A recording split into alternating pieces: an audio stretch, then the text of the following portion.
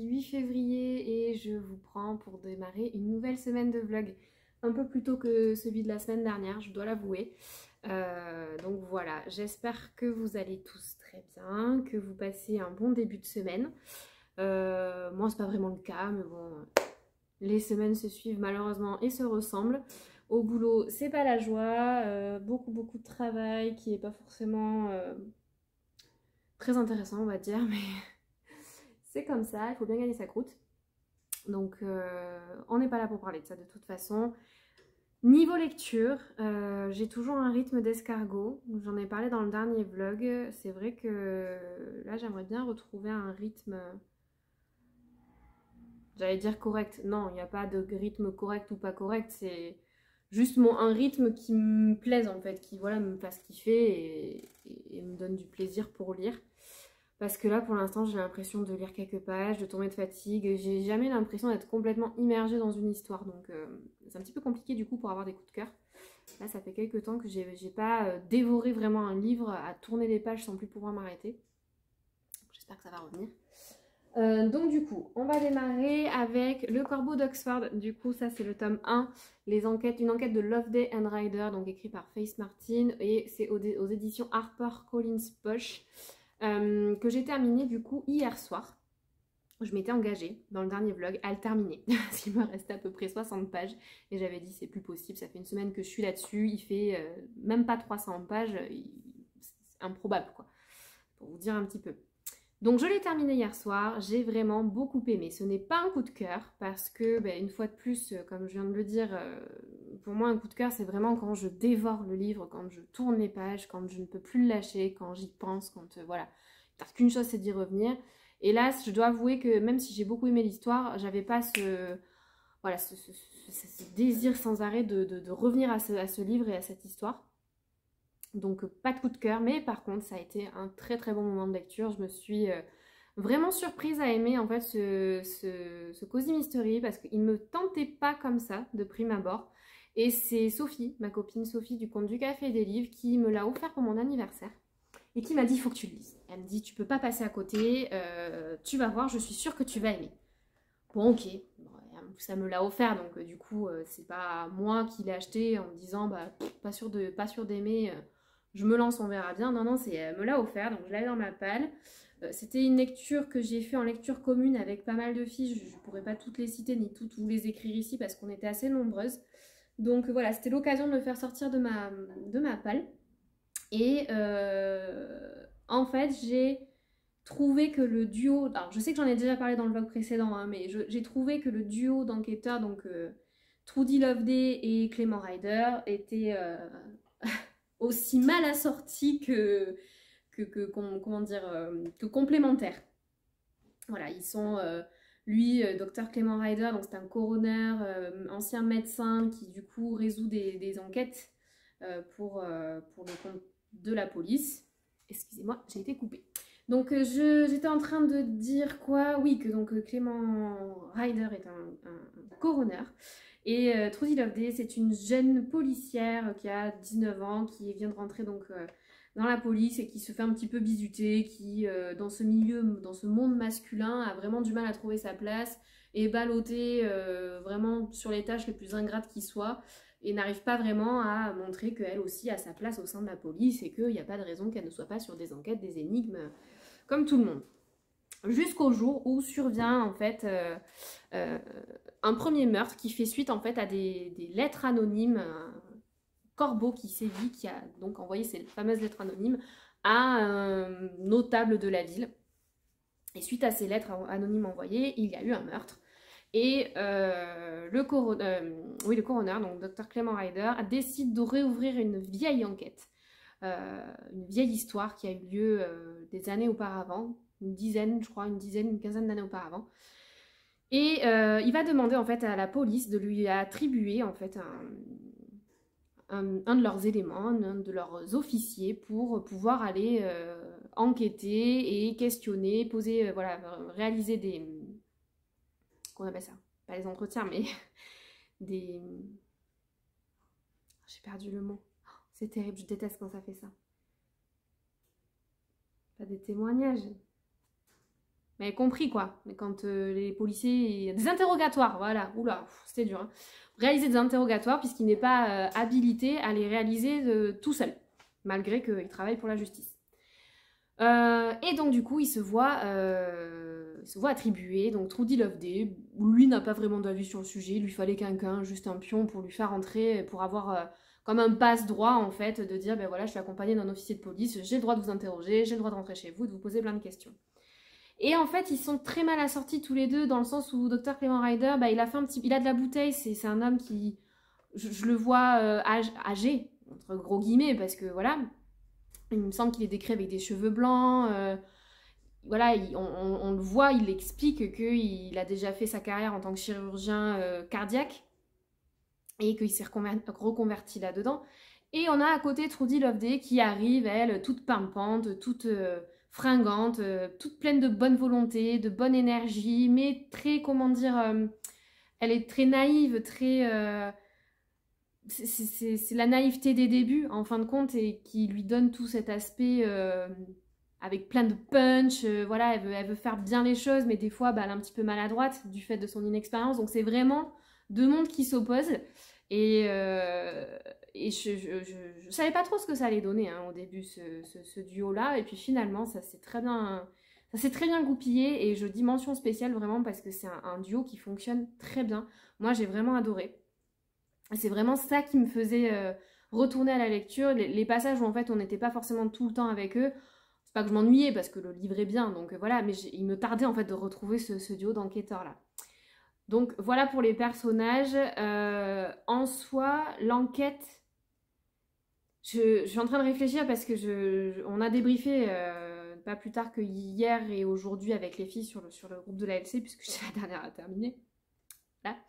Et, du coup, c'est vrai qu'il y en avait qui disaient qu'elles avaient trouvé l'enquête vraiment trop tirée par les cheveux, un petit peu trop alambiquée, qu'il était allé chercher très loin l'auteur pour, euh, pour, pour, euh, pour, résoudre cette enquête, pour, pour élaborer du moins cette enquête. Je peux être d'accord.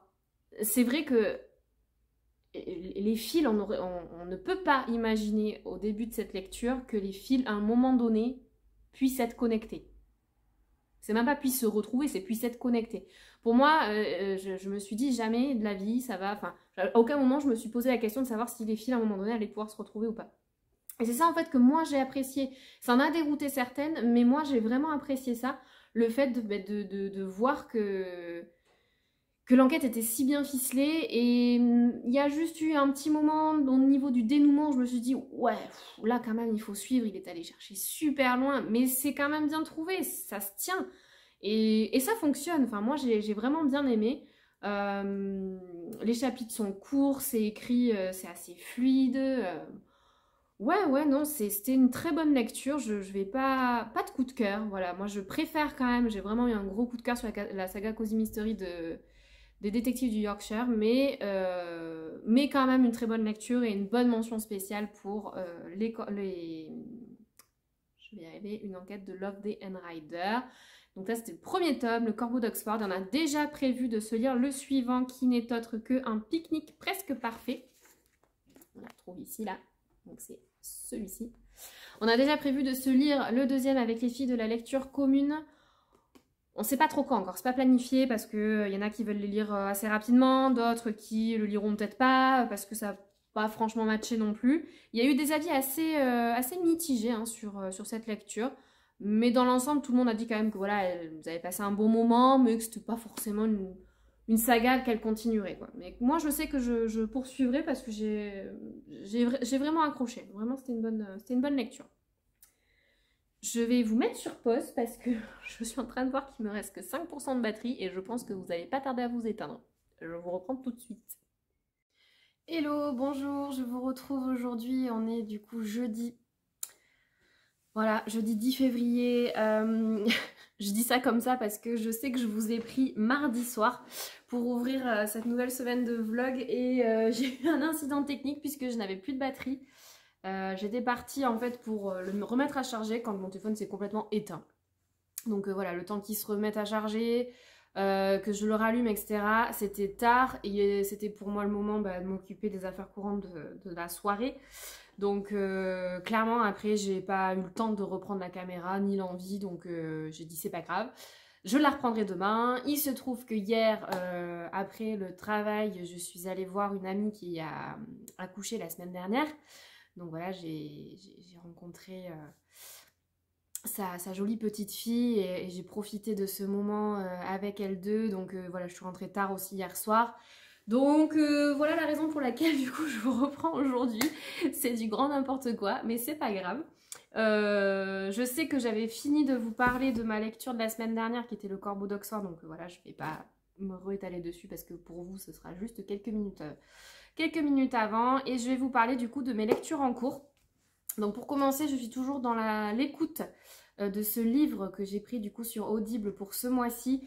Donc c'est le Gang des rêves de Luca Di Fulvio et j'avance pas trop mal. Euh, j'en suis à page 180 donc euh, chapitre je suis plus chapitre 16. bon sur 900 et quelques pages hein, donc ça, il m'en reste encore un, bon gros morceau. J'ai lu ça là. Enfin j'ai écouté ça. J'aime beaucoup. Je suis en train de bugger sur mon chat, j'ai fait des trucs chelous mes chats. Euh, j'aime beaucoup, euh, même si c'était très particulier, c'est que ça reste très particulier et j'étais pas sûre de vraiment accrocher. Euh, et puis finalement, je me rends compte que je me mets ça en fond et bah ça passe assez bien. pour vous faire un petit résumé, on va suivre en fait Cheta et Christmas. Donc Cheta c'est la maman de Christmas, elle est italienne et elle a fui son pays pour aller donc aux États-Unis et où en fait elle va être euh, prostituée, clairement. Et elle vit, en fait, elle est recueillie par un couple de, personnes âgées. On comprend pas très bien pourquoi en fait euh, le Mac, qui n'est autre, euh, oui c'est vraiment ça, il s'appelle Sal, que on ne sait pas trop pourquoi le Mac en fait la place dans cette famille là, pourquoi elle n'est pas dans le bordel avec les autres prostituées, Peut-être parce qu'elle a un enfant, on sait pas trop. On voit que, on a l'impression que Sal se lie un petit peu euh, avec elle, mais bon, ça reste très très flou. Et en fait, on va suivre voilà le quotidien de, cette femme. Alors, euh, c'est en ça où je disais la dernière fois que il y avait des, passages très crus et très euh, violents parce que ben voilà une prostituée dans les années 20, c'est vrai que j'ai pas précisé, ça se passe dans les années 20 entre les années 1910 et 1920 en fait. Il y a des c'est une double temporalité. Mais bon voilà c'est à cette époque là c'est quand même euh, voilà une époque où de base la considération de la femme n'est même pas ce qu'elle est aujourd'hui. Donc je vous laisse imaginer pour euh, pour les prostituées de l'époque. Et, euh, et en parallèle de ça du coup dans les années 1920 donc là où Christmas a grandi une dizaine d'années il y a un, meurtre qui est commis. Bon, je sais pas trop encore vous dire si ça a une réelle importance ou pas de, savoir ça. Je, je, sais pas trop en fait ce que ça va donner cette histoire. Je sais pas vers où veut nous emmener l'auteur. Ce qu'on voit juste, c'est que le petit Christmas, en fait, en ayant grandi, euh, a des rêves en fait de, pouvoir et de voilà de, gang, de gangsters aussi, voilà. Il essaie de se donner un genre, il veut créer sa propre bande de, mauvais garçons et euh, alors qu'au fond euh, ça, reste un gentil petit garçon mais, euh, d'où je pense le nom du, livre, hein, le gang des rêves, je sais pas trop encore, on va voir. Mais, mais, voilà, et donc dans les années 1910, on suit vraiment les débuts de Cheta qui arrive du coup aux États-Unis et qui démarre sa vie de prostituée avec Sal à ses côtés plus ou moins. Lui est très distant, euh, elle est très, euh, j'allais dire robotisée. C'est presque ça en fait, dénuée de tout sentiment. Elle a fait ça de manière euh, mécanique presque, voilà. Pour elle c'est un travail comme un autre. Voilà, pour l'instant c'est tout ce que je peux en dire. La plume de Luca Di Fulvio, je trouve, est assez exigeante il y a des moments où quand je suis trop fatiguée ou quoi, j'ai besoin de mettre sur pause parce que il faut quand même être concentré. Je pense qu'à lire vraiment en papier, ça doit être euh, assez fatigant aussi. Donc je suis pas très, je suis pas mécontente finalement de l'avoir pris en version, euh, audio. Je me dis que ça va peut-être m'aider à, aller au bout de cette histoire. Mais, euh, sinon, il a une, écriture très très jolie. Il a énormément de vocabulaire. Je trouve que c'est très bien détaillé, parfois même trop, comme je vous disais. Il y a eu des passages où quand j'écoutais, j'étais là, ouf, ouais, là quand même c'est hard. Mais, mais il a vraiment une, une, faculté à utiliser les mots pour vraiment plonger le, lecteur dans son ambiance et, et je pense que c'est ça qui fait que j'accroche. Parce que vraiment, pour l'instant, le fond de l'histoire, bon, ça casse pas trois pattes à un canard, on va pas se mentir. Euh, j'attends de voir en fait, j'attends de voir comment ça va évoluer. J'en suis vraiment qu'au tout début. Voilà, sur euh, plus de 900 pages, j'en ai écouté 180, c'est rien. Donc on va voir comment ça évolue. Mais pour l'instant, j'aime bien. Voilà, c'est pas non plus euh, le livre de l'année pour l'instant, mais peut-être que quand je l'aurai fini, je vous dirai que si, en fait, c'était vraiment le livre de l'année. Donc bref, donc ça c'est pour ma lecture audio. Et ensuite, pour ce qui est de ma lecture papier, donc euh, je l'ai prise à midi euh, pour euh, bouquiner. Au final, j'ai pas eu le temps de me poser. J'ai mangé en un quart d'heure pour vite reprendre le boulot parce que c'est l'orgie. Et du coup, je l'avais transportée dans ma superbe pochette à livres. Voilà. J'ai juste envie de vous la montrer. Et donc j'ai commencé lundi soir Le Loup des Cordeliers de Henri Lovenbruck. Donc pareil, je lis en lecture commune avec Mathilda et... Oh, c'est terrible. Oh, j'arrive pas à retenir son prénom, c'est horrible la pauvre, je suis désolée. Oh, non, je me rappelle plus. Donc avec deux filles sur Instagram, on lit en lecture commune Le loup des cordeliers de Henri Lovenbroek. Euh, bon ben voilà, hein, j'en suis pas, je sens. Euh, je sais que les filles là, elles ont écrit aujourd'hui, j'ai pas eu le temps encore de regarder où est-ce qu'elles en étaient. Euh, déjà lundi, elles m'avaient mis peut-être une dizaine de chapitres dans la vue, donc je suis pas la meilleure partenaire de lecture commune euh, en ce moment, mais bon, c'est pas grave. Euh, j'aime beaucoup. Euh, pareil, je, passe un très bon moment, même si je lis que 30 à 40 pages par jour, tellement je suis épuisée. Mais je passe un très très bon moment. je suis très surprise en fait de cette plume. Je m'attendais pas du tout à ça. je sais même pas d'ailleurs à quoi je m'attendais, mais je sais pas, je, je suis surprise. Je, je trouve que Henri Lovenbruck euh, utilise vraiment les bons termes et le bon vocabulaire parce qu'il faut se rappeler que ça se passe en 1789. D'ailleurs, je ne sais pas si je vous ai lu le résumé. Je crois pas que je vous ai lu le résumé. je vous le lirai tout à l'heure. Donc ça se passe en 1789, juste un tout petit peu avant la Révolution française. Et je trouve que ben, Henri Lovenbruck utilise vraiment les, termes, la, façon de parler de cette époque-là. Euh, il y a beaucoup d'annotations en bas de page avec les explications de qu'est-ce que veut dire ce terme, qu'est-ce que veut dire cette expression, qu'est-ce que c'était ce métier à cette époque-là. Et, euh, je trouve que c'est chouette, on est vraiment plongé et, et ouais, immergé dans, cette, dans ce siècle-là, dans cette époque-là. J'aime beaucoup. Et, euh, l'histoire en elle-même, pour l'instant, bon, ça démarre, j'allais dire tout doucement, non, ça démarre assez fort, on est vite mis dans le, dans le bain. Et, il me tarde de voir ce que ça va donner. Vraiment, c'est un, je pense que ça va être un beau mélange de, faits historiques qui se sont réellement passés et euh, voilà de faits imaginés euh, par l'auteur. Et je pense que ça va être, euh, ça peut être quelque chose de très très sympa. Donc on va voir. Donc pour vous le dire, le résumé. Donc du coup, on est en, en mai 1789, alors qu'un vent de révolte souffle sur Paris.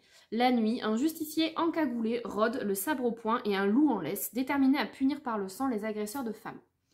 Les cadavres égorgés portent au front sa marque, celle d'un triangle inversé. Une seule question agite alors le Paris révolutionnaire et ses grandes figures, Danton, Robespierre, Desmoulins, qui, diable, se cache sous le masque du loup des Cordeliers. Gabriel Joly, jeune et ambitieux journaliste, mène l'enquête avec la conviction que derrière cette affaire, c'est l'un des plus grands complots de la Révolution française qui pourrait être mis à jour. Mise au jour. Euh, voilà, donc ça c'est pour vous donner un petit peu le, résumé fait par, euh, par le livre. C'est exactement ça. On démarre direct, on voit, euh, je crois que le prologue, c'est l'assassinat de, de, premier, comment dire, voyou qui s'en prend à des femmes. ça démarre comme ça et dans les on va dire ouais 50 premières pages. il y a un deuxième meurtre qui se fait très rapidement, donc vraiment, je vous spoil rien, c'est écrit derrière. Euh, c'est un mystérieux euh, justicier et son loup qui viennent euh, défendre les femmes, quelles qu'elles soient. Ça peut être des, jeunes filles, des petites filles comme des femmes d'âge mûr. voilà, et donc du coup, on a aussi donc Gabriel Joly, qui est donc un jeune journaliste qui arrive sur Paris et qui veut faire ses preuves et qui commence à trouver ça un petit peu louche, tous ces, tous ces meurtres, et qui, je pense, j'en suis là, va se pencher un peu sur le sujet pour essayer de trouver qui est le meurtrier. Voilà, et alors ce qui est très, euh, très amusant, très, très sympa de lire, c'est que ben voilà, on est à quelques mois de la Révolution française, donc il y a tous les, euh, on voit Danton, Robespierre, Desmoulins, euh, tous les grands noms connus de, qui, ont, joué un rôle pour cette Révolution française. On, voit en parallèle de, cette, de cette enquête, de ce qui se passe, vraiment les prémices de, de ce qui s'est passé pour la Révolution française. Et ça, j'adore. je trouve que c'est très très bien fait. On va voir comment ça va évoluer au fur et à mesure euh, des chapitres, mais j'aime vraiment beaucoup, beaucoup. Euh, voilà, donc ça c'était pour mes lectures. J'ai reçu un petit paquet que j'ai laissé sur ma table de salle à manger, donc je vais mettre en pause et vous reprendre juste après. Et promis, là j'ai de la batterie, je vous récupère de suite. Ça y est, me revoilà. Donc j'ai reçu aujourd'hui dans ma boîte aux lettres un petit paquet, un gros paquet, avec des, livres dedans, hein, on, va, pas non plus se mentir, faire durer le suspense, là où il n'y en a pas. Donc je sais de qui ça vient, puisque euh, on en avait discuté sur Instagram. En fait, c'est euh, un moment donné, je crois que j'en avais parlé en story, où je cherchais du coup des Agatha Christie pour euh, remplir mon... Oh, j'ai mal. Pour remplir mon challenge Read Christie 2022. Et il m'en manquait quelques-uns. Et en fait, Angie, du compte Madame Chachali, m'avait écrit en me disant Bah écoute, euh, je te montre ce que j'ai dans ma bibliothèque. Et, euh, parce qu'elle comptait se séparer de ces Agatha Christie dans la collection que moi j'ai. Et elle me dit S'il y en a qui t'intéressent, dis-le moi et je te les envoie euh, très gentiment parce que bah, elle allait s'en séparer dans tous les cas. Trop gentil. Du coup, j'en ai choisi 4 dans sa bibliothèque. Elle m'a écrit un petit mot. Bonne lecture, à très vite. Angie, trop mignonne. Donc le premier, c'est une poignée de seigle. Et donc celui-là, effectivement, je l'ai sélectionné dans mon challenge. Donc euh, voilà, je... Oui, je crois que j'ai sélectionné. Ça me fait tilt, je suis même pas sûre, mais si, je crois que oui. Donc euh, voilà, j'étais très contente euh, de, le, trouver dans la bibliothèque d'Angie. Merci beaucoup. Donc ça, c'est un Miss Marple. Alors autant vous dire qu'ils sont comme neufs. Hein. Voilà, ils sont nickel un premier. Ensuite, on a Mr. Brown. Lui, ça fait un moment que je le cherchais. Punaise, impossible à trouver. Donc pareil, il est nickel, il est en super état. Euh, je, suis, je suis ravie. Voilà. Ah Elle m'a glissé des petits sachets de thé. Trop mignonne. Fraise gingembre et noir. Breakfast, c'est là. Pagès. Et ça, pro, Roman, Roman Nature. Je connais pas. Merci Angie. Et du coup, les deux autres, euh, j'ai choisi du coup de lui prendre meurtre au champagne. Je sais pas ce que c'est. Et je lui ai pris aussi euh, mon petit doigt m'a dit. Donc ça, c'est les Beresford. Voilà. Donc ça m'en fait 4 de plus à ma collection. Je suis ravie. Merci Angie si tu passes par là. Merci beaucoup, beaucoup. Je te fais des gros bisous. Merci pour les petites attentions. Merci d'avoir pensé à moi. Je suis trop, trop contente. Et du coup, ben, je vais pouvoir, entre ceux que j'ai trouvés là récemment, ceux que du coup m'a envoyé euh, Angie, je vais pouvoir euh, mettre à jour ma, pile à lire pour le, le challenge. Bon, Autant vous dire que le livre que je devais lire euh, en janvier, je ne l'ai pas fini. Euh, peut-être que je le finirai un jour, je sais pas. Je pense pas vous prendre celui de février, je pense qu'il va sauter aussi parce que j'ai des grosses grosses lectures sur ce mois-ci et quand je vois le rythme que j'ai, euh, je, me dis que ça va être compliqué, je pense, de, voilà, de tenir bah, le planning de lecture, de lecture que je m'étais fixé. Mais bon, c'est pas grave, hein. Du bonus à Agatha Christie, on l'a dit. Donc, euh, c'est pas très très grave. Euh, voilà. J'étais en train de réfléchir à ce que je devais vous dire d'autre, mais non, mais c'est tout. Euh, demain, je pense que je pourrais vous reprendre. Là, je vais aller me changer parce que je rentre du travail, voyez-vous. Et, et, je vais aller me changer, me mettre sur mon canapé et continuer du coup cette lecture pour pouvoir débriefer un petit peu avec les filles, essayer de rattraper mon retard et, euh, et puis voilà, je vous reprendrai certainement demain. Voilà, je vous fais des bisous.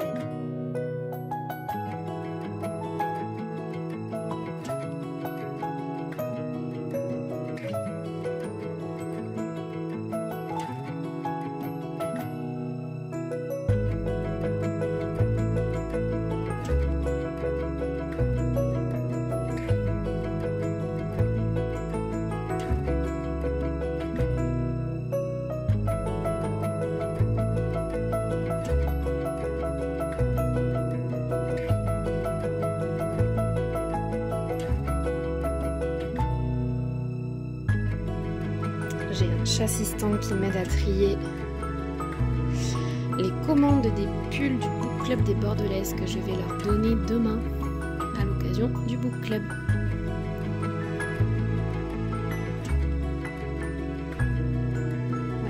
Voilà. Je sais pas trop.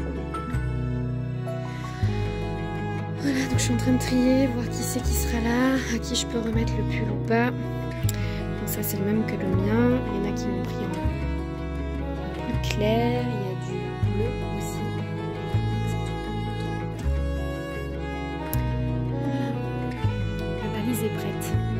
que je fais J'y mets ce chat dans cette valise Qu'est-ce qu'on fait de ce chat? Je ferme la valise avec toi dedans. Je crois que mes copines du book club elles vont être contentes de te voir dedans. Mais oui. Une valise pleine à craquer de sweet.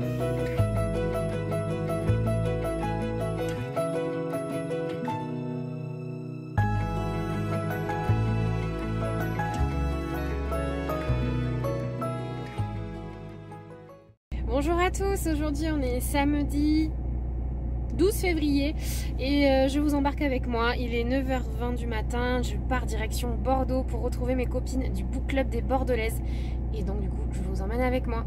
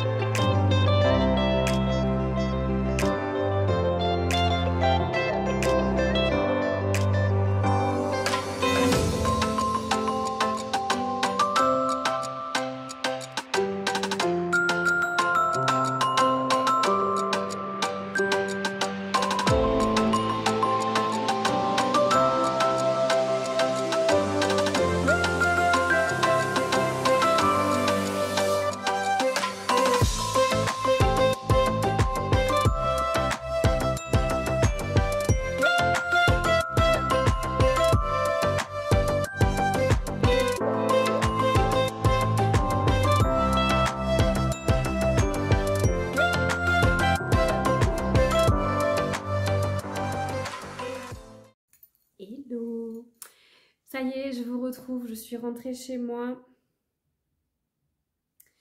Euh, je suis rentrée chez moi, pardon, après ma matinée euh, qui a largement débordé sur, euh, sur le début d'après-midi avec les filles du book club des, Bordelaises. on passe toujours un, super moment. Pour l'occasion, j'avais sorti le pull adéquat. Voilà, et j'ai pu faire la livraison du coup de, des nombreux pulls que les filles avaient commandés également. Donc voilà, c'était très sympa de nous voir euh, toutes euh, habillées. Enfin, pour certaines, toutes ne l'ont pas mis, mais pour certaines habillées avec, le même pull, c'était rigolo. Donc voilà, normalement je vous ai mis quelques plans juste avant pour vous montrer un petit peu comment se déroule ce moment. c'est toujours super sympa, voilà, on, en profite pour discuter lecture, pour échanger nos avis et, voilà, c'est vraiment super. Euh, ensuite, on part en règle générale faire un tour en librairie. Et là, cette fois-ci, on en a fait deux. On ne s'est pas contenté d'aller que chez Mola. Donc, je le rappelle, Mola, c'est une grosse librairie indépendante que l'on a sur Bordeaux.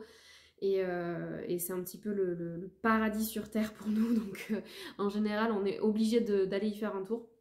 Et là, en fait, on a, on a voulu aller dans une euh, bouquinerie avec, donc voilà, qui propose des livres d'occasion et euh, que en fait moi je connaissais de nom mais je n'étais jamais allée. Voilà, elle est à Bordeaux, il y en a une aussi qui est euh, un petit peu excentrée de Bordeaux dans une commune euh, voisine.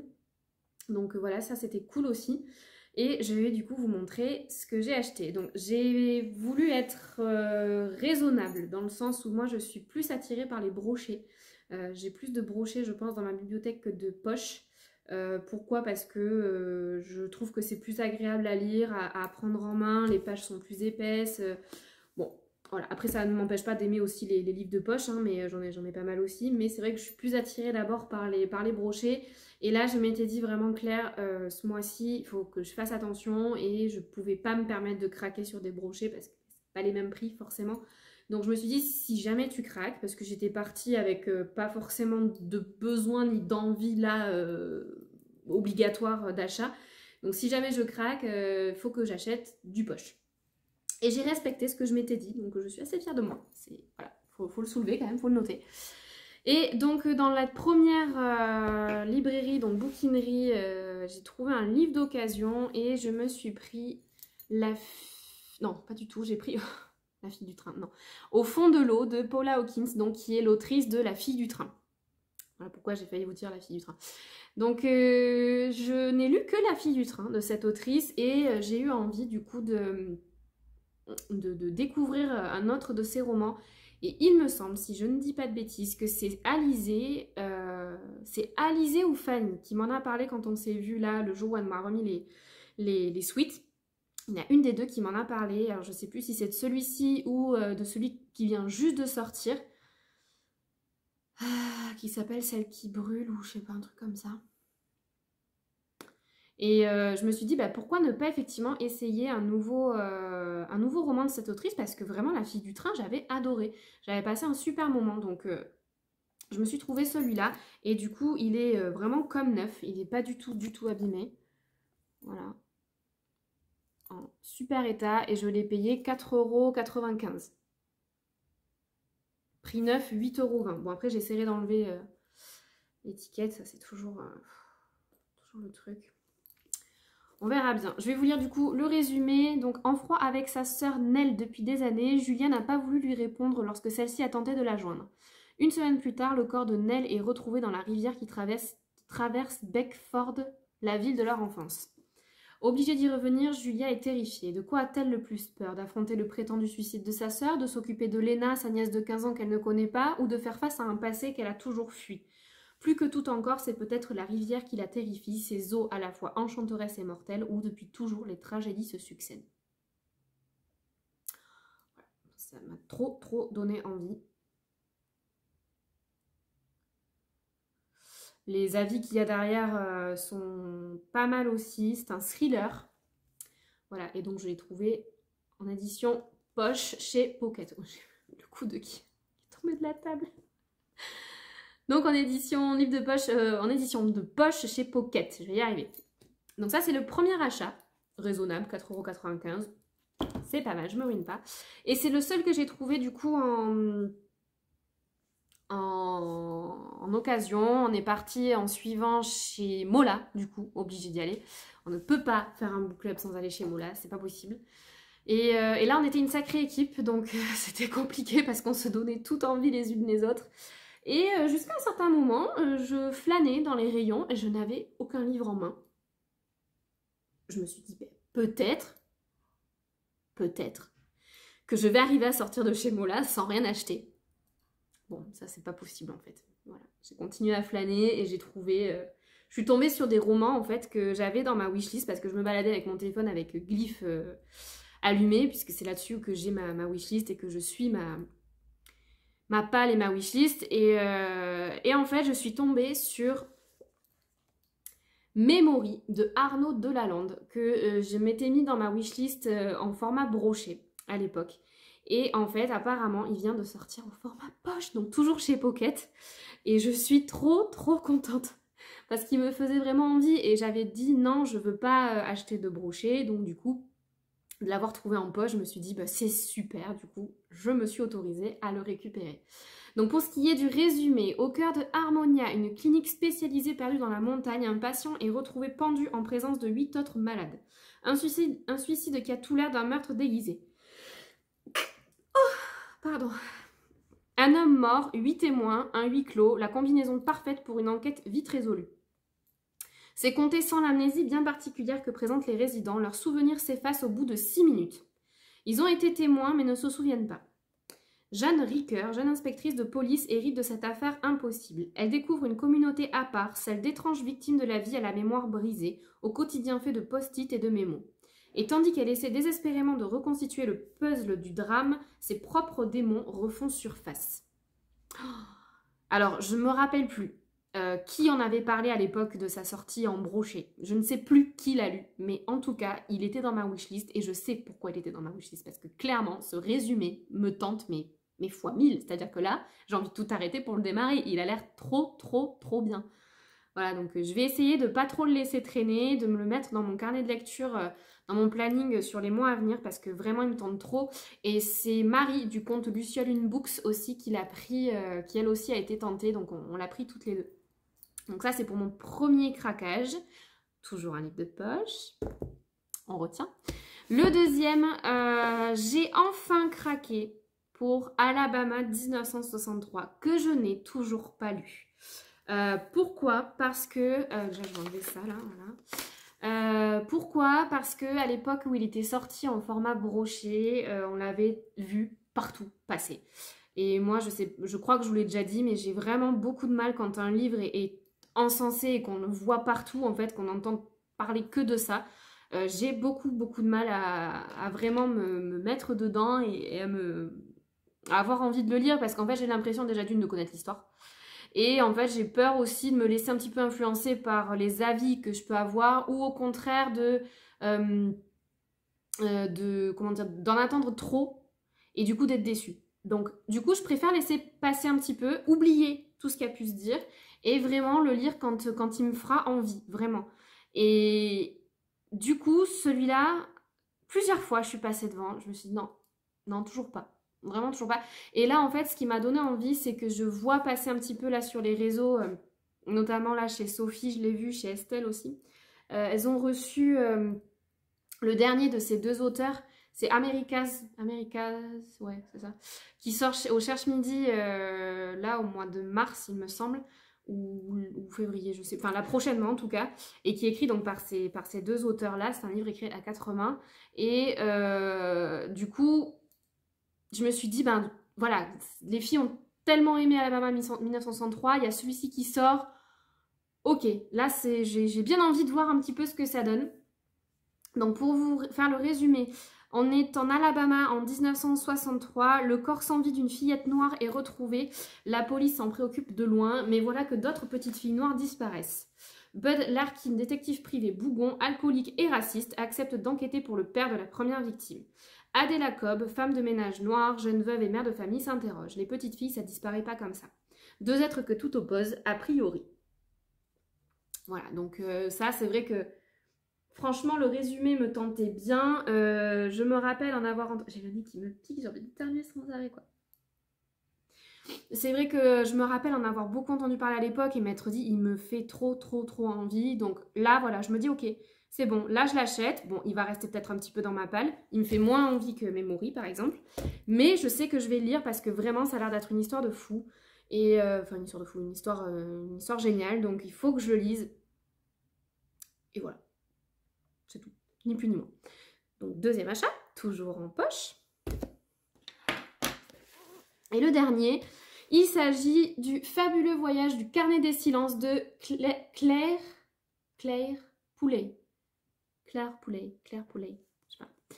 Voilà, donc euh, pareil, celui-ci, je l'avais vu passer en brochet. Je trouvais déjà la couverture, euh, je la trouve trop jolie cette couverture.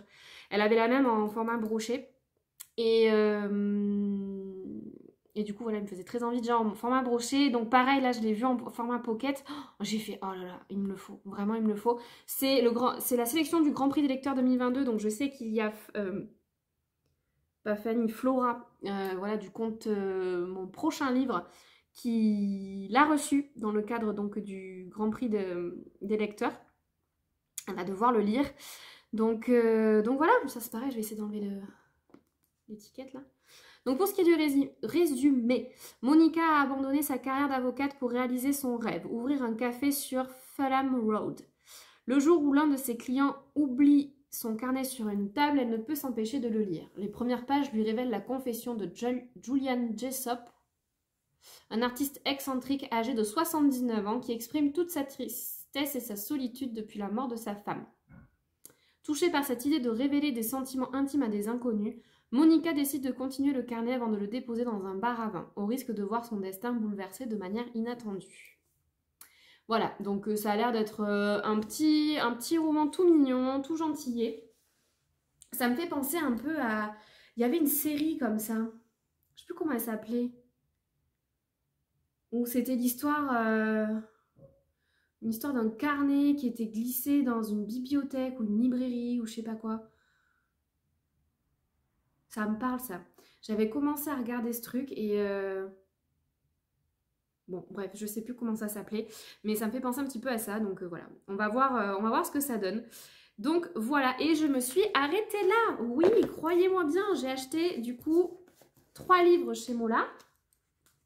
Ces trois-là, plus celui-là en bouquinerie. C'est pas mal. Moi, je dis que c'est pas mal. Franchement, j'ai été vraiment très très mignonne. Voilà, donc j'en ai quatre et c'est que des pockets en plus. Bon, par contre, pocket, euh, moi ça m'agace ça. Pourquoi il change? Bref. Donc 4 de plus dans ma page. Je vais pouvoir mettre à jour euh, ma page sur, euh, sur Glyph. J'étais contente, je disais aux filles que j'avais fait un petit peu baisser ma palle parce que là j'essaie de faire attention donc j'achète un petit peu moins de livres. En fait j'essaie de me cantonner au book club une fois par mois.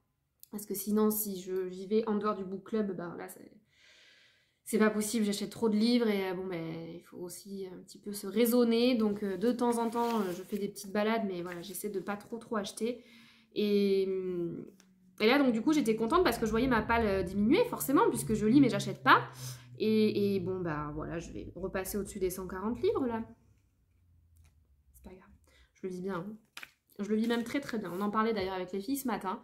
Et moi je disais, j'adore en fait avoir, euh, avoir du choix. Quand j'ai fini un livre, j'ai qu'une hâte. Et ça, mon, mari euh, le comprend, enfin le comprend. Le sait en fin de compte. Quand il voit que j'ai fini un livre, il me dit, allez, tu vas aller te foutre pendant un quart d'heure devant ta bibliothèque. C'est tout à fait ça. Mais j'adore, j'adore, j'adore. J'ai l'impression d'aller dans ma propre librairie et d'avoir le choix de. J'ai tous les genres qui peuvent, euh, voilà, qui peuvent me plaire. Donc du coup, ben, j'ai plus qu'à choisir en fonction de mes envies. Bon, après, j'ai un, planning de lecture, donc je, sais déjà plus ou moins ce que je vais avoir à lire. Mais il y a des fois où bah, ça me pique et ben non, en fait, j'ai pas envie de suivre le planning de lecture que je m'étais fixé. Et ben, du coup, j'ai envie de lire celui-là, donc je prends celui-là et puis basta. Voilà, ça m'arrive aussi. Hein. Donc, euh, Rien que pour ça, ça me gêne pas d'avoir une grosse palle. Euh, voilà, je, suis tout à fait à l'aise avec ça. Et encore, je dis que 140 livres, c'est pas non plus euh, faramineux, quoi. J'en connais qui ont des pales beaucoup plus grandes que moi. Euh, pour ce qui est de mes lectures en cours, quand même, parce que hier, je ne vous ai pas pris. Qu'est-ce que j'ai fait hier? Pourquoi je vous ai pas pris? Ah si, je suis allée me promener et puis en plus j'ai pas beaucoup avancé dans, dans ma lecture. Là aujourd'hui ça va, je suis pas trop trop fatiguée donc je pense que je vais pouvoir avancer. J'ai bien dormi cette nuit mais, voilà, une fois de plus, hier, je suis rentrée du boulot complètement fracassée et euh, ben, il a fallu que je m'occupe du vlog d'aujourd'hui. Et, du coup, après, je me suis endormie jusqu'à, je crois, 7h30 ou un truc comme ça. Oh, j'ai ouvert un œil et je me suis dit, bon, voilà, c'est un petit peu tard pour prendre la caméra. En plus, j'avais rien de spécial à vous dire, ben, j'ai pas beaucoup avancé dans mes lectures. Donc, euh, du coup, je me suis dit, bah, ce sera pour demain. Voilà, donc aujourd'hui, je reviens euh, vous parler du coup de ma lecture en cours qui est Le loup des cordeliers de Henri Lovenbruck. J'avance tout doucement, mais j'avance. Là, j'en suis page 170. Je sais plus à combien j'étais quand je vous ai pris la dernière fois. Bon, j'ai pas beaucoup, beaucoup avancé non plus. Hein. Mais voilà, j'ai pas grand chose de plus à vous dire. J'aime beaucoup. Euh, je, trouve génial en fait la façon que cet auteur a de mêler l'histoire avec un grand H et l'histoire tout court, son histoire à lui, euh, qui sort de son imagination. Et je trouve qu'il a aussi une très grande euh, facilité à utiliser les termes, à employer des termes et des expressions de l'époque. Euh, voilà, peut-être que je l'ai déjà dit. Hein. Moi, j'ai absolument pas de mémoire, donc je ne sais pas si je me répète ou pas. Mais il y a énormément d'annotations en fait en bas de page euh, qui vont expliquer bah, qu'est-ce que veut dire ce mot, ou alors quel était ce métier, ou qui est cette personne, ou le contexte, etc. Et je trouve que c'est très très bien. On est très bien immergé dans, dans cette époque-là, euh, on sent le peuple qui est mécontent, on voit euh, voilà, les prémices de la Révolution française. Euh, il y a des passages en fait où on, a, on est dans, dans le château avec Louis XVI et Marie-Antoinette. Et alors ce que je trouve, enfin ce qui m'a fait sourire en fait, c'est que cet été j'ai lu Marie-Antoinette de Stéphane Zweig que j'avais adoré et euh, j'avais appris beaucoup, beaucoup, beaucoup de choses euh, grâce à ce livre sur cette époque euh, de notre histoire française. Et en fait, là, je trouve qu'il y a des références dans ce livre-là. quand Marie-Antoinette parle, elle fait référence à, à, des scandales dont elle a, elle a dû euh, essuyer les plâtres en gros. Et en fait, moi, ça me fait sourire parce que ben, je sais de quoi elle parle. Et je, alors, ça n'enlève en rien le fait de ne pas savoir si vous n'avez pas lu l'histoire de Marie-Antoinette, si vous connaissez pas son histoire, ça n'enlève en rien la compréhension de ce livre-là, c'est pas ça. Mais c'est vraiment un petit plus en fait de me dire ah oui là je sais de quoi elle parle, je, comprends, euh, je sais ce qui s'est passé, je sais pourquoi elle dit ça. Donc voilà, ça c'était juste la petite anecdote. C'est vrai qu'il y a pas mal de, références à des faits historiques réels qui se sont réellement passés et, euh, et je trouve ça génial. En fait, voilà, c'est vraiment, vraiment super sympa comme lecture. Euh, ça, je ne sais pas si je vous l'ai dit, mais en fait, c'est une trilogie, c'est une saga. donc ça, c'est le tome 1. Le tome 2, le tome 2 c'est le mystère de la main rouge. Et le tome 3, je sais plus comment il s'appelle. Ouais, l'histoire de la main rouge, c'est celui-là. Voilà. Et le tome 3, euh, le tome 3, le tome 3, je sais plus comment il s'appelle. On a regardé ce matin en plus avec Fanny. Non, c'est pas écrit. Ah oui, mais j'avais pas vu à la fin, il y a toutes les... La bibliographie en fait... Euh, sur laquelle il s'est basé pour écrire en fait ce livre. Donc bibliographie, ça commence à la page 625, ça finit, euh, il y, a, il y a 4, ou, 4 ou 5 pages de... Bah dis donc. Mais ça se ressent, hein. vraiment dans son écriture, on sent que l'auteur s'est vraiment, vraiment renseigné sur, sur ce qu'il écrivait, c'est très, très documenté et euh, vraiment chapeau parce que... Mais ça, ça n'alourdit en rien l'histoire, vraiment, c'est... Euh, ça reste vraiment une fiction à part entière, malgré qu'il y ait des faits historiques euh, réels au, sein de l'histoire en elle-même. Donc c'est vraiment chouette. Là, je me suis mis deux marque-pages en fait. Ça, c'est le marque-page de moi où est-ce que j'en suis dans ma lecture. Et en fait, le livre est divisé en plusieurs parties. Donc il me reste ça à lire pour atteindre la deuxième partie. Et euh, voilà, c'est juste pour moi, pour avoir une idée un petit peu de l'état d'avancement. C'est histoire de me motiver un petit peu à y revenir. Voilà, donc ça c'est pour ma lecture en cours. Et euh, aujourd'hui, je vais démarrer en parallèle parce que j'ai tellement pris de retard que bah, ça y est, ça vient à se chevaucher. Je pense qu'il va falloir que j'annule certaines lectures communes que j'avais planifiées dans le mois parce que je ne vais pas y arriver. J'ai vraiment, vraiment pas un rythme de lecture euh, de fou euh, ce mois-ci, donc c'est compliqué de tout suivre. Et donc je préfère prendre le temps de savourer mes lectures plutôt que de me blinder et de, de les avaler là sans même les apprécier. Et aujourd'hui, du coup, je démarre une nouvelle lecture commune aussi que j'organise du coup depuis le tome 1 parce que là, on lit le tome 3 des détectives du Yorkshire. Donc, c'est Rendez-vous avec le mystère et euh, on va retrouver du coup Samson et Delilah qui sont un duo de détectives euh, voilà, euh, dans, le Yorkshire, comme son nom l'indique. Samson est un vrai détective. Delilah, elle, tient une, une agence de rencontres. Et en fait, ben, chaque tome, il y a un nouveau meurtre, euh, nouvelle enquête à, élucider, on va dire. Et, euh, voilà, les, tomes se suivent, donc il vaut mieux lire en commençant par le 1. Il y a beaucoup de personnages et, euh, et voilà, et au-delà des enquêtes, on suit aussi la vie, l'évolution de chaque personnage. on sent qu'il y a des liens qui se tissent entre certaines personnes. Ça, évolue en fait constamment. Et, et vraiment, c'est un gros gros coup de cœur pour cette saga. J'aime beaucoup les Cozy Mystery. Euh, ça fait partie de mes, genres littéraires préférés. Et hum, avant de, connaître euh, celui-ci, j'avais euh, des Cozy Mystery pour moi qui étaient, très très bons déjà. Mais celui-là a clairement pris la place number one. Vraiment, si vous connaissez pas, si vous aimez un peu le genre Cozy Mystery ou que vous voulez découvrir, n'hésitez pas à vous lancer. Donc avec les détectives du Yorkshire. Le premier, c'est Rendez-vous. Oh merde, je me rappelle plus. Tellement pas de mémoire, c'est terrible. Je, m'épuise. Ah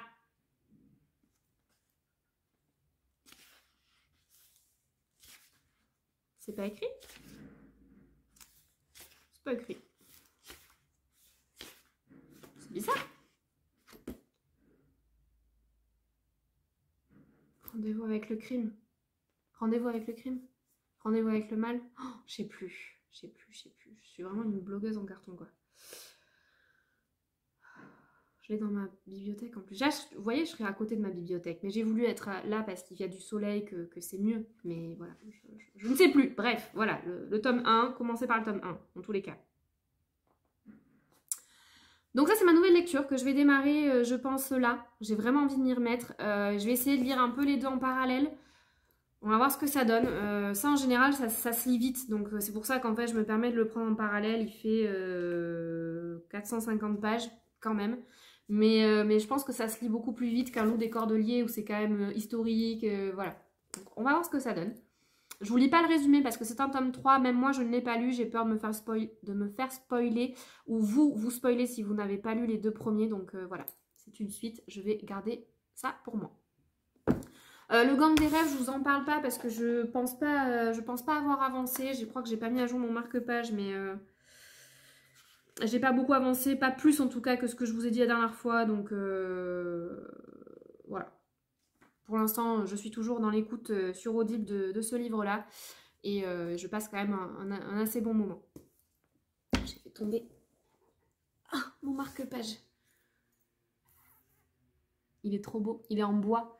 Je l'avais trouvé cet été, euh, là où je passais mes vacances. Il est trop joli. J'aime trop. I love books. Ça va aller avec les détectives du Yorkshire parce que ça se passe pendant la Saint-Valentin. Et la Saint-Valentin, c'est lundi. Donc voilà, un petit peu d'amour euh, pour cette période. Voilà, euh, c'est tout ce que je voulais vous dire. Ah si, je vous ai pas montré. Regardez ce qu'on a récupéré aussi aujourd'hui. En plus du pull du book club des Bordelaises, on a aussi le tote bag du book club des Bordelaises. Oh, et il est trop trop beau. Voilà, on est trop contente parce que vraiment c'est hyper qualitatif. Euh, c'est toujours par le biais de Alizé qui, voilà, qui nous propose de super super jolis produits. Et nous, ce qu'on a vraiment apprécié avec, euh, avec Sophie, c'est ces, euh, en fait renforcées, larges. Comme ça, ça tient bien sur l'épaule. Et euh, ils ont un fond plat. Alors ça se voit pas trop parce que là dedans j'ai un pull que une des filles n'a pas pu récupérer puisqu'elle n'était pas là. Mais en fait, ça a été réfléchi par, ben, par une lectrice, hein, forcément, qui est Alizé et qui du coup nous a dit ben, quand on achète des livres, au moins on peut les mettre à plat au fond sans qu'ils s'abîment. Et c'est pas faux. Là on va essayer. Vous voyez, je vous mets les... Voilà. Et là j'ai mes, mes livres à plat dessous. Voilà. Et c'est trop, trop stylé.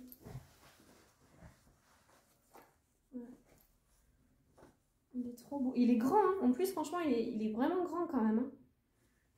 Voilà, donc là j'ai le total look. Euh, le pull et le tote bag. Voilà, ça c'était le petit, euh, le petit plus du jour. On est ravis, on est trop contente. Euh, je pense qu'on va voir pour faire encore peut-être d'autres produits. On, avait des idées. Et puis, puis voilà, c'est chouette de pouvoir partager ça une fois de plus avec, avec d'autres lectrices. Bon, je vais vous laisser, ça fait déjà quand même 25 minutes que je vous parle. J'espère que je vous ai pas perdu, que vous êtes toujours là. Je vous l'avais dit, hein, que j'étais bavarde et que le format de Instagram ne me suffisait pas. Vous comprenez maintenant pourquoi, parce qu'une fois que je suis lancée, je m'arrête plus. Euh, là, il y a encore du soleil, il est 5h moins le quart. Je vais aller me poser soit dans mon canapé, soit dehors, mais je vois qu'il y a un petit peu de vent, donc dehors, je pense que ça va être un peu juste. Je vais aller me mettre dans mon canapé euh, qui est encore au soleil et je vais euh, bouquiner me faire un thé aussi parce que j'ai très soif. Et, puis voilà, moi je vous reprendrai peut-être demain. Euh, si j'ai bien avancé dans ma lecture, comme ça je pourrais vous en parler. Et sinon, bah, dans tous les cas, je vous dis à plus tard. Bisous Bonsoir à tous, je vous prends ce soir un peu tardivement, on est mardi 15 février et il est presque 9h30. Euh, je suis arrivée chez moi il y a, à peine une demi-heure, j'ai pris vite une douche, donc euh, d'où le fait que je vous prenne euh, cheveux mouillés, en pyjama, j'ai enfilé mon, pull plaid pour être bien au chaud. Je vous prends, je me suis fait une soupe, je suis toute seule chez moi ce soir, donc voilà, c'est repas léger, qui fait pas de mal. Et je viens vous prendre rapidement parce que sinon je sais que, ça va être compliqué. Je vais pas clôturer le vlog un mercredi et, en redémarrer un voilà, demain, enfin bon, bref. Je me suis dit là j'ai 5 minutes. Je vais vous prendre pour vous parler un petit peu et, euh, puis voilà. Euh, pourquoi je vous ai pas pris avant? Parce que dimanche, bah, en fait je me rends compte que j'ai vraiment du mal à prendre la caméra le dimanche. Pour moi c'est vraiment une journée off. Où euh, oui je suis quand même sur les réseaux, je scroll pas mal, mais c'est aussi journée ménage souvent. Et puis après j'aime bien me poser avec un bouquin et vraiment en profiter pour lire. Donc je mets un petit peu en pause tout ça et puis je vous reprends en général le lundi ou le mardi mais un peu plus tôt. c'est vraiment tard. Mais bon, c'est comme ça. Hier c'était la Saint-Valentin en plus, donc autant vous dire, je suis rentrée. hier soir j'avais un, beau bouquet qui m'attendait. Je suis trop contente. Et, et un petit repas préparé par monsieur. Donc voilà, j'étais ravie. Euh, et, comme c'est ma semaine de soir, du coup, ben voilà, je vous ai pas pris avant, et puis après c'était trop tard, et puis j'avais envie de profiter de ma soirée de Saint-Valentin, tout simplement.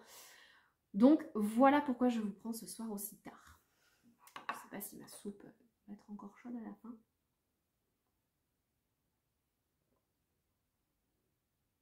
Mmh. Trop bonne. Donc, pour vous parler de mes lectures, euh, je vous ai laissé samedi. Je revenais du coup de mon book club des Bordelaises, où je me suis fait un petit peu plaisir euh, de manière quand même assez raisonnable en librairie. Et je vous disais que j'étais toujours sur la lecture du Loup des Cordeliers, que je lis en lecture commune avec Mathilda et Audrey. J'espère que je ne me suis pas trompée parce que là, je vais passer pour une grosse gogole, mais je crois que c'est Audrey. Euh, où on a un, un rythme euh, assez particulier en fait j'avoue. On est d'accord en fait pour se dire que cette lecture va prendre du temps. Elles sont vachement plus en avance que moi mais on la laisse vraiment courir et on prend le temps de, le lire. Donc moi j'ai vraiment stoppé ma lecture du loup des cordeliers samedi parce que le soir même donc j'ai rien de plus à vous dire sur cette lecture c'est ce que je voulais vous dire. Je ne l'ai pas du tout repris depuis, euh, depuis samedi parce que le soir même, je démarrais en fait une nouvelle lecture commune avec le tome 3 des détectives du Yorkshire. Donc c'est Rendez-vous avec le mystère. Donc voilà, que je lis avec beaucoup beaucoup de monde sur, sur Instagram. Euh, donc j'ai commencé, euh, oui, samedi soir, mais j'ai beaucoup plus lu le dimanche. Et euh, en fait, depuis dimanche, je n'y ai pas touché. Voilà, comme je vous ai dit hier soir, c'était soirée de Saint-Valentin, donc j'ai pas touché le livre. Ou après, quand je me suis mis au lit, ben Franchement, j'étais tellement éclatée que je, n'ai même pas lu. J'ai éteint de suite. Là, ce soir, ben, il est 9h, euh, 9h30 passé. Je vais manger. Et je pense que j'ai pas envie de regarder les écrans ni la télé.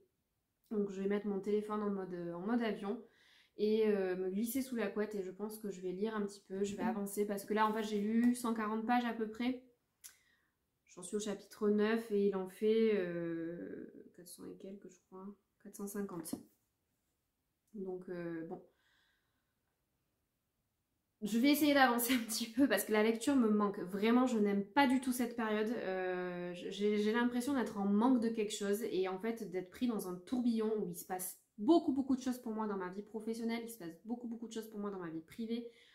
Et du coup, ben, j'ai l'impression de ne pas avancer et ça me manque. J'aimerais en fait là vraiment euh, me mettre en mode off et pendant une semaine euh, ne voir personne. Alors c'est moche de dire ça parce qu'on a besoin d'une vie sociale et on a vécu des trop de moments avec le Covid où on, a, on ne pouvait voir personne. Mais euh, c'est vrai que là j'aspire à vraiment des moments de tranquillité où je vais pouvoir avaler, avaler, avaler des pages. Et, euh, j'ai un peu retrouvé ça dimanche avec ce, roman-là. Ça m'a fait du bien d'enchaîner, de tourner les pages comme ça parce que vraiment ça me manque. Ça me manque vraiment d'être embarqué vraiment dans une histoire, de pas de tomber de fatigue, d'être concentré, de voilà. Et c'est vrai que ben du coup je trouve qu'un bon mystery pour, euh, pour ce genre de moment c'est vraiment parfait. Euh, voilà, je, passe un super moment, on s'accorde tout à dire sur la, conversation que à mon avis ça va être notre coup de cœur sur cette saga. Euh, ça démarre très bien. je le trouve même différent des autres tomes. Après, je peux pas trop vous en parler parce que c'est une suite, donc ce serait un petit peu spoiler les, les, tomes précédents. Donc pour ceux qui les ont pas lus, ce serait un petit peu dommage. Mais quand même, pour faire court, donc on suit toujours Samson et Delilah. Samson qui est un, euh, un ancien flic qui revient dans sa ville, euh, ville d'enfance, sa ville natale qui est Bruncliffe. Et euh, il a ouvert, donc dans le tome 1, une agence de détective. Voilà, et Delilah, donc, qui est sa, la propriétaire des locaux qu'il loue pour son agence de détective. Et elle, elle a une agence de rencontre juste au-dessus, en fait, de son agence de détective. Et ils se connaissent, en fait, puisque le frère de Delilah, qui est décédé euh, il y a quelques années de ça, était le meilleur ami de Samson. Delilah et Samson se connaissent depuis l'enfance. Et euh, malgré que Delilah n'ait absolument aucune compétence de détective, elle va suivre Samson euh, et, l'aider en fait malgré lui dans les enquêtes et dans les, à résoudre les mystères et les meurtres qui, qui peuvent se produire. Et Dieu sait qu'il s'en passe dans cette ville on, pourrait croire que, c'est tranquille, mais non, le Yorkshire, il s'en passe des choses. Donc, donc voilà, c'est très agréable. Il y a toujours autant de personnages, mais c'est vraiment, on a l'impression de retrouver les, les, gens du village. Finalement, les, les personnages évoluent, leur vie personnelle évolue aussi. On, ce n'est pas tourné que autour de l'enquête et c'est ça que j'aime beaucoup dans cette euh, saga de Cozy Mystery. C'est qu'il y a, y a aussi l'évolution des personnages et leur vie, euh, leur vie à côté de, l'enquête euh, qui, évolue sans arrêt et, on a hâte en fait de les retrouver, de savoir avec qu'est-ce qu'il va devenir, qu'est-ce qu'il va faire et ceci, cela. Donc voilà, chaque tome a une enquête à part, mais voilà, sur, les, sur les différents tomes, on va suivre l'évolution de ces personnages et c'est vraiment chouette. Donc je passe un super moment euh, de lecture quand j'ai le temps de lire et quand je prends le temps de lire. Mais voilà, c'est vraiment une chouette saga. Si vous ne connaissez pas, franchement, euh, n'hésitez pas, lancez-vous et, allez-y. Enfin, ça, ne peut que, je pense, à mon sens, ça ne peut que plaire. Après, je me trompe peut-être, il, en faut pour tous les goûts et c'est bien normal. Donc voilà, euh, ma lecture audio, je n'y ai pas retouché je crois que non, là, ce début de semaine, je n'y ai pas touché, donc euh, j'ai pas du tout avancé. Je mange en même temps parce que elle va être froide sinon.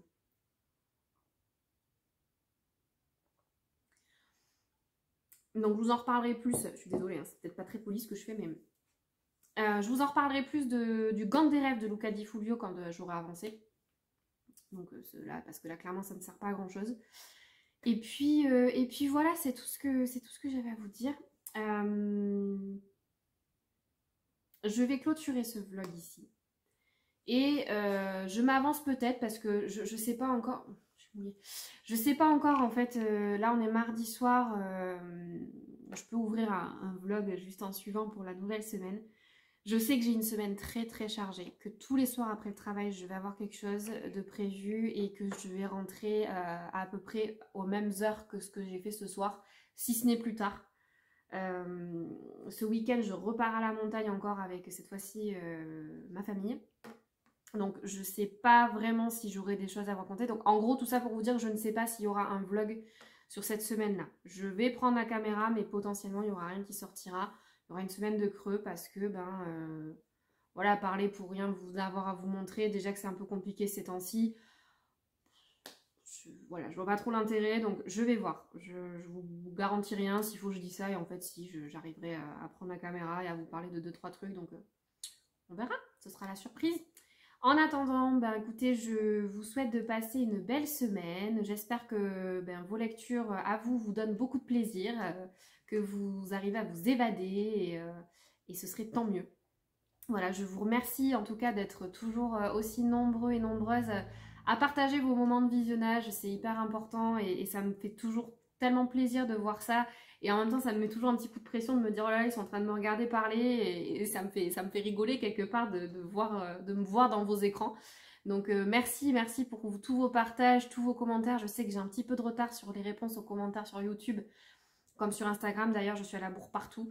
Mais, euh, mais voilà, je, sais que quand je vais me poser, je vais prendre énormément de plaisir à vous lire. Donc euh, n'hésitez pas, hein. je sais que je suis un petit peu à la bourre sur tout ça, mais, euh, mais ça me fait très plaisir de, voir que vous prenez le temps de, me répondre, de partager un petit peu des choses avec moi. Donc continuez, ça me fait plaisir. Et puis en attendant du coup de vous retrouver, euh, je vous invite à, liker, toujours commenter, partager, à vous abonner si ce n'est pas déjà fait. Moi je vous fais de gros gros bisous et je vous dis peut-être à la semaine prochaine.